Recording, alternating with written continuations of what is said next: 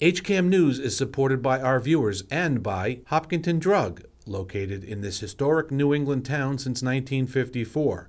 They are a multifaceted store dedicated to providing clients with an array of healthcare options. And by Webster First Federal Credit Union, providing financial products with attentive customer service to the local families and businesses of Hopkinton. Visit us at websterfirst.com.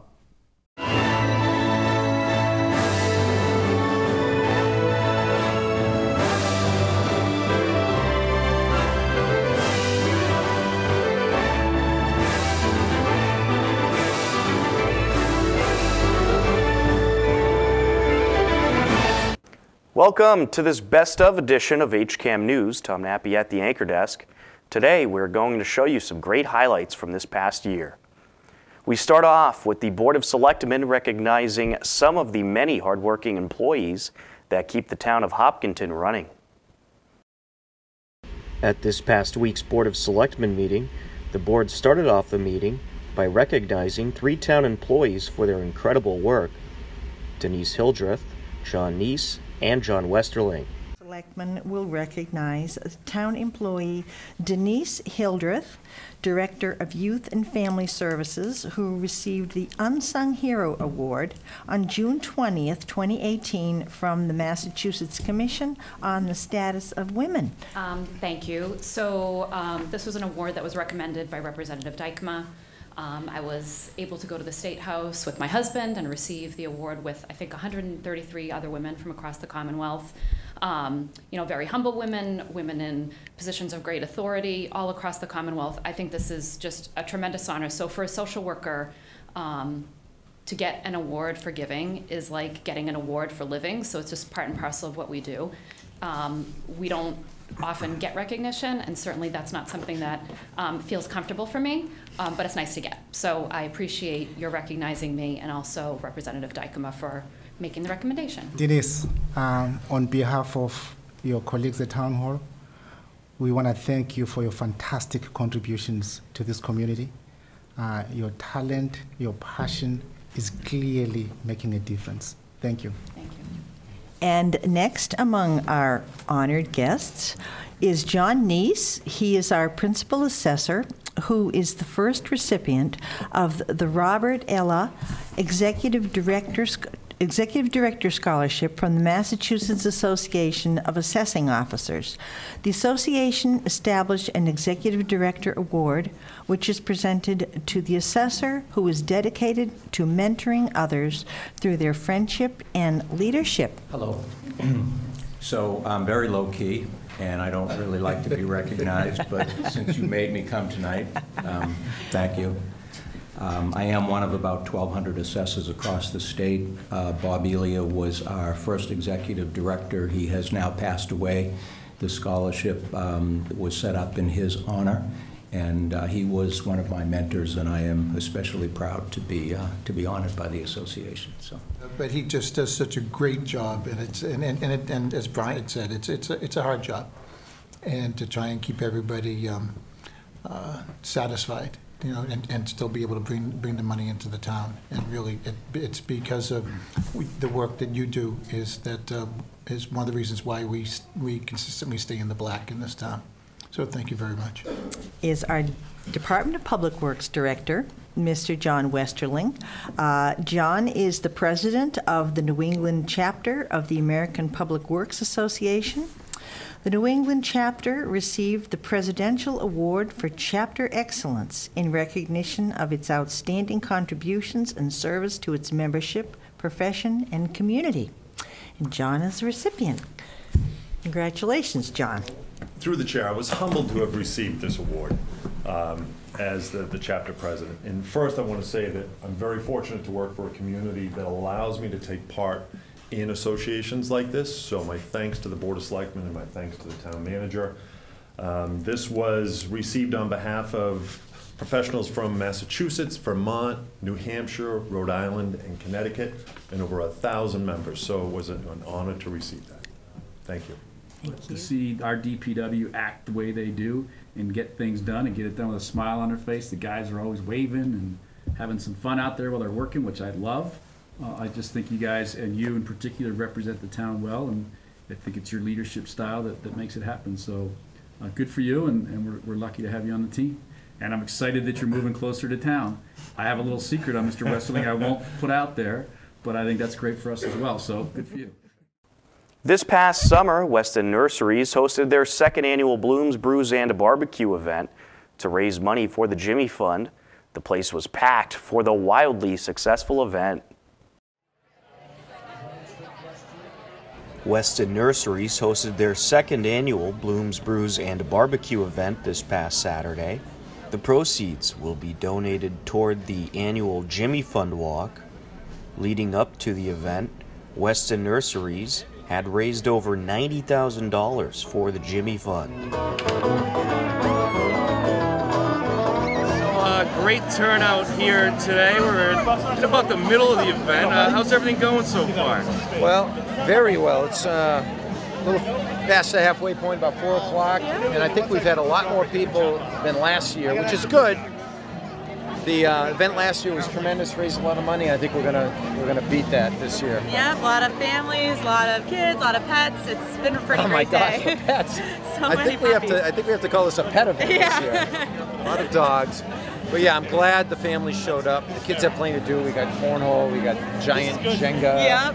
Um, Connect Four. Connect Four, a couple of those. Yeah. Once in a while you hear this big bang, and all of a sudden it's because the Jenga board collapsed. Yep. It's scary. and kids run around, run, run away, Yep. run away. and this is uh, you know, Samantha Rose from the Jimmy Fund, and, and you've had a lot of people enter the raffle prizes op- here. Yep, today. so our opportunity drawing. So far, we've sold $350 worth of tickets, Okay. which is great. Um, got some great prizes, and I think we'll still sell some more. Yep, and we'll announce those around 5 o'clock. Yeah. And a few people had signed up for the walk team. Yep. We got about 10 or 11 so far, and our goal is to raise $25,000 this year. Hopefully, we beat that. So, anyway, this is a great event. We're in the middle of it, and we can't wait to do it next year. But Tom will show some B roll to give the effect of what it's like. We got a lot of beer vendors here. They're all doing very well. Yep. People are having fun. It's it's not out of control. No. It's uh, Got a great band playing. great band. I think we're on the third out of fourth bands, and uh, the food is phenomenal too. So I think we'll try to keep it kind of similar to this next year. I think yeah, Looking I good. think that's a good plan. So that's it. All right, terrific. And uh, how's everything going over here at the donation table? It's good. We're getting a lot of gifts, a lot of people interested, and a lot of people just want to give to the Weston Nurseries Walk Team such devotion, which is just amazing. And I think a true testament to what you guys have done here for the Jimmy Fund and for Weston Nurseries. So. Here is a look at the fun filled day of music, great food, tasty beverages, and a good time for the whole family. I'm a fool for saying no. Hey, enough. Ah, she makes me Oh, that's a thing.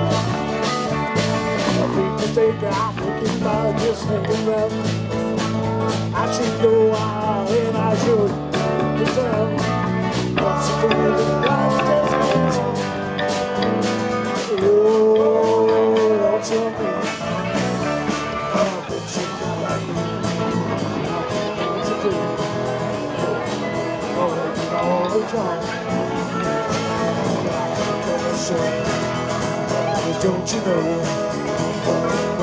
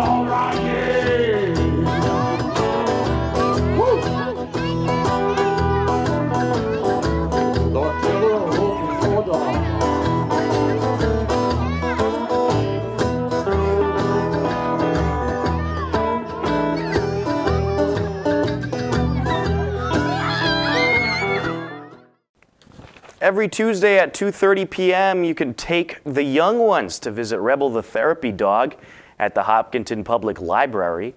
Here's a look at a visit from Rebel this past summer.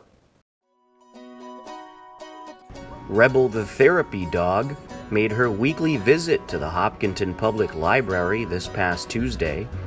Rebel is a Swiss mountain dog who enjoys meeting people, and you can find her in the young adult room every Tuesday from 2:30 until 3:30 p.m. She wants to. Ready? Sit. Ready? Get it. So it always looks like she's not gonna get it. How long have you worked with Rebel? Um, we've mostly since January. Yeah, I've had her about a year and a half now. You know, and she's two and a half. Is it great? A great relationship between you Yeah, two? we have a lot of She's fun. Isn't she a big girl? she's only two and a half. How do you how do you train her to do all this stuff?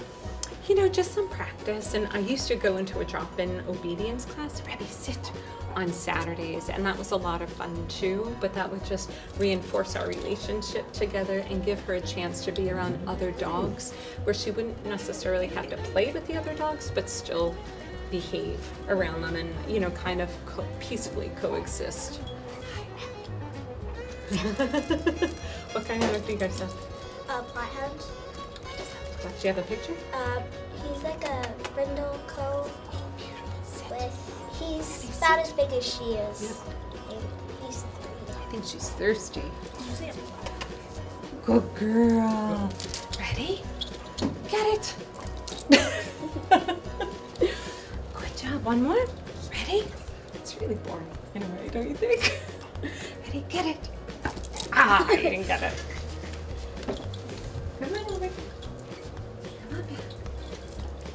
So uh, I heard you do other events. Do you want to talk a little about those? Like, do you work at the school during the year? or- I have had a chance to uh, go into the middle school and the high school, um, Hopkins and Center School, which I guess, you know, hopefully I'll get a chance to visit friends in Marathon.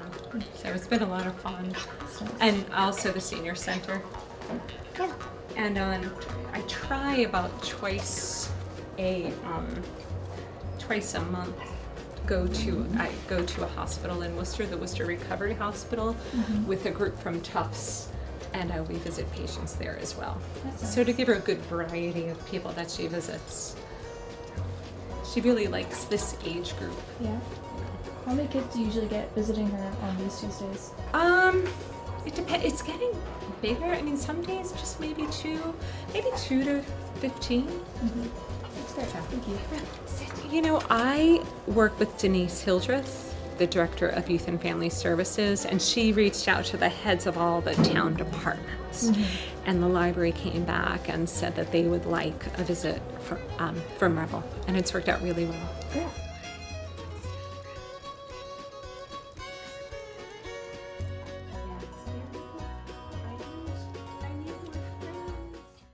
HCAM programming is supported by our viewers, thank you, and by Golden Pond Assisted Living, honoring resident choice, dignity, and independence. Our health and wellness focus keeps residents active. Golden Pond, state of the art senior housing and healthcare services. A pair of Hopkinton Girl Scouts were recognized with the ultimate prize for a Girl Scout, the Gold Award. Here's a look.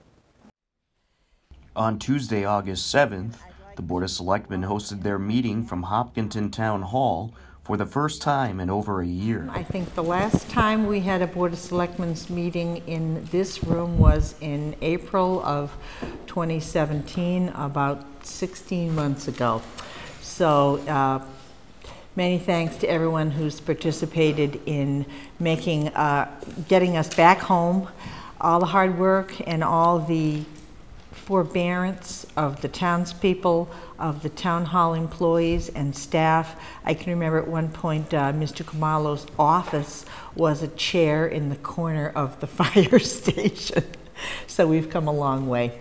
So welcome home to everybody. I think we need to take a second and thank Bob and everyone at HCAM for all the hard work that they did putting us up down there for the last year and a half. So thank you very much for all the adjustments and everything that you guys did to make us feel cooler than we are tonight. Welcome back anytime. Duly noted. Thank you. During the meeting, the Board of Selectmen recognized a couple of Girl Scout Gold Award recipients. The Board of Selectmen will recognize the Girl Scout Gold Award member uh, recipients, Melissa Hayes and Grace Darkow of Girl Scout Troop 72233 for projects which inspired STEM interests in young girls, and Karen Bograd has been their Girl Scout troop leader. I wish there were the same kind of ceremony for the Girl Scout Gold Awards that there are for the Eagle Scouts, but I, so I want everyone to understand tonight what a really, really special event this is and a, an enormous accomplishment um, for these young women. I made an after-school program for fourth and fifth grade girls to learn how to build, program, and design Lego robots. So they took they took part in a um, a sumo competition where they had to knock other robots off a um, field, and the last person stand last robot standing won. And they worked in like teams of three or four. Yeah, other high school students will be continuing the program in future years, and all like the um, high school robotics program has all of like the materials for each year, so it can be picked up at any point. Um, so my project was to teach young girls um, in first grade about engineering. So I taught them about like the engineering design process. Um, I also taught them about sorry, um, other female engineers, and I led them through with my mentors a whole bunch of different activities where they built things and used engineering, um, such as like building like a toy or building a small house. I used a lot of like matching games and stuff, and like all the activities. There was like three for like building activities, so they could like move on really quickly. So thank you and good evening. My name is Danielle Dolcinos. I'm the Director of Volunteer Engagement at Girl Scouts of Eastern Massachusetts. Um, and I'm honored to be here tonight with all of you. The Gold Award is our most prestigious award in Girl Scouts. Starting in 1916, the best and brightest undertook sustainable projects that improve their communities in the world. The Gold Award has inspired girls to find greatness inside themselves and share their ideas and passions with their communities. Over the past 100 years, those who have earned the highest award in Girl Scouting reflect the vision of our, our movement's founder, Juliet Gordon-Low. Juliette believed deeply in the importance of giving back to one's community and sought to inspire the same in others. Nationally, only 13% of girls ages 14 to 17 earn the Gold Award. So we're very excited to be able to celebrate the work of two Hopkinton Girl Scouts who are joining those prestigious ranks as Gold Award Girl Scouts. Grace Darkow and Melissa Hayes have demonstrated extraordinary leadership in making a difference in their community with measurable take action projects.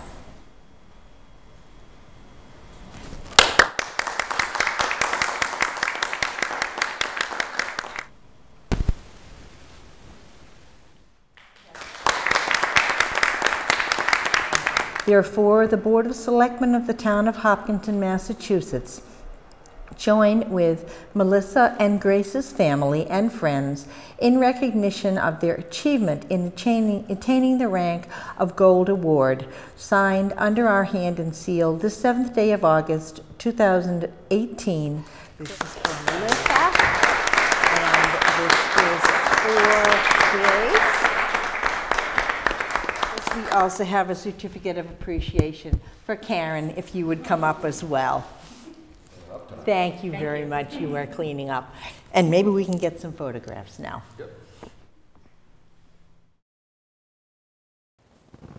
That will just about do it for this edition of HCAM News. Don't forget, you can stay up to date with everything Hopkinton by checking out our website, hcam.tv, as well as our Twitter and Facebook page. Be sure to head over to our website for the latest happenings in our community and check out the Hopkinton Community Calendar to take a look at upcoming events in town. If you have a Hopkinton related video, photo, or story idea, I want to hear from you. Email me at news at hcam.tv. With your help, we'll cover even more of our community. For everyone here at HCAM, I'm Tom Nappy. We leave you now with the current community listings and upcoming government meetings. As always, thanks for watching HCAM News. Take care, and from all of us at HCAM, happy holidays.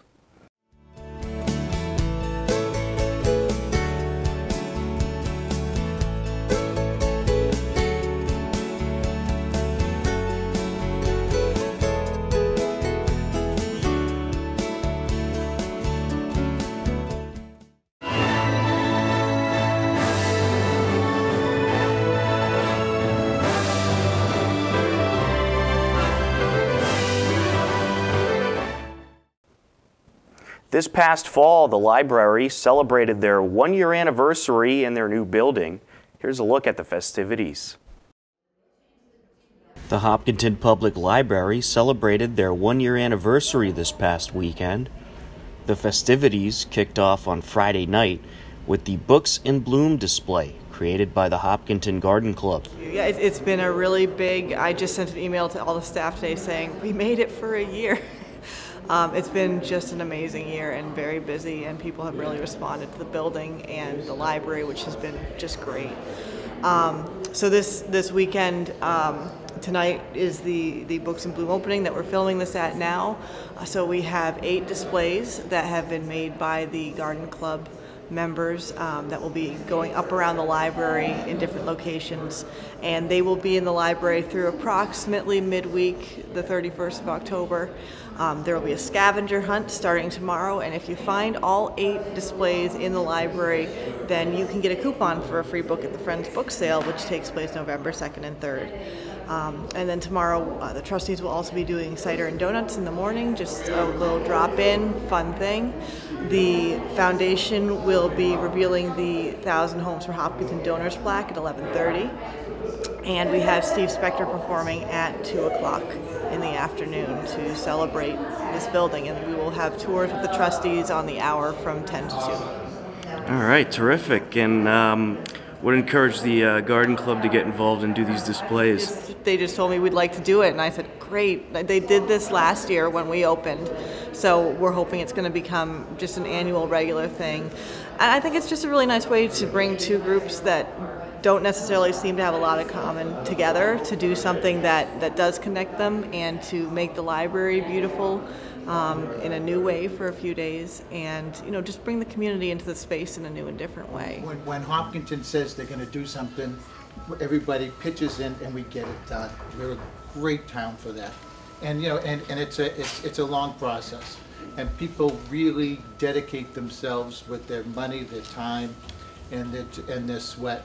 You know, I, I'm, I'm speaking for the Board of Selectmen, but, um, a member here, uh, but former chairman, who really pushed us. And Ben was, Ben was um, uh, the spearhead for the Board of Selectmen several years ago and said, we've got to get this done. And we all we stood behind him and, and got it done. And, and Ben, really, thank you very much for, for doing it.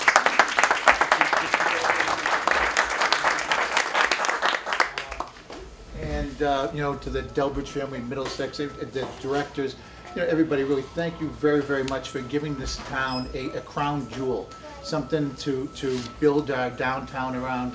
You know, it's, it's, it's, we're already seeing it in, in, in new businesses coming to town. The, the homes right around the downtown are, are, are, are growing, and getting better and better. Values are going up, people are moving in, schools are getting great. It's, it's just fabulous, so thank you very much for everybody, everything everybody's done. It's getting better and better.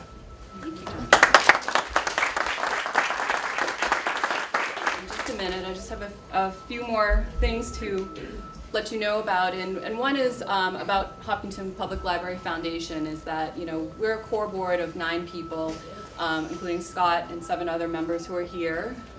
Do you all want to raise your hand or?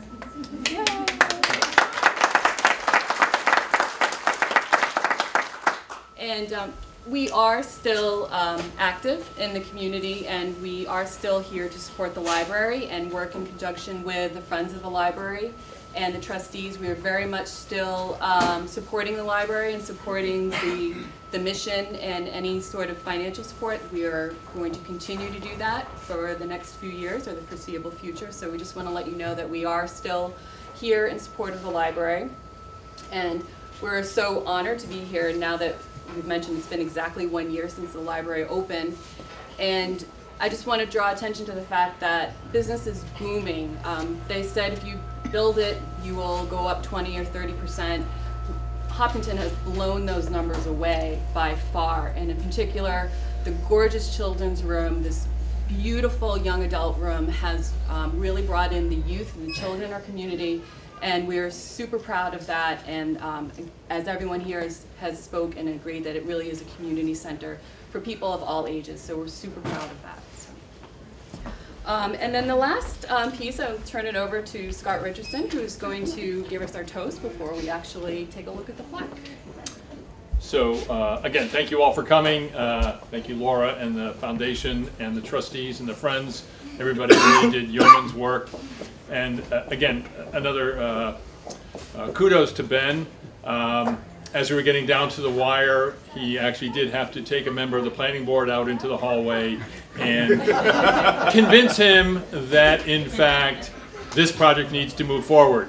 So again, without his uh, tutelage to that member, uh, we may not be standing here. Well, we probably would be, but uh, it was just an example of leadership, uh, really exemplary leadership. So, as Laura said, uh, we are going to do a toast. There you go. Uh, So, So, oh, thank you. So if people want to, this, this is non-alcoholic. So uh, uh, if anybody wants to grab, grab a glass, uh, please do.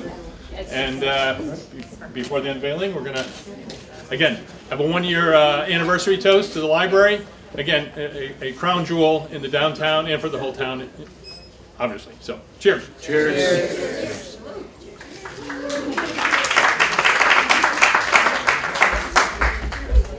Yep. Hey! hey.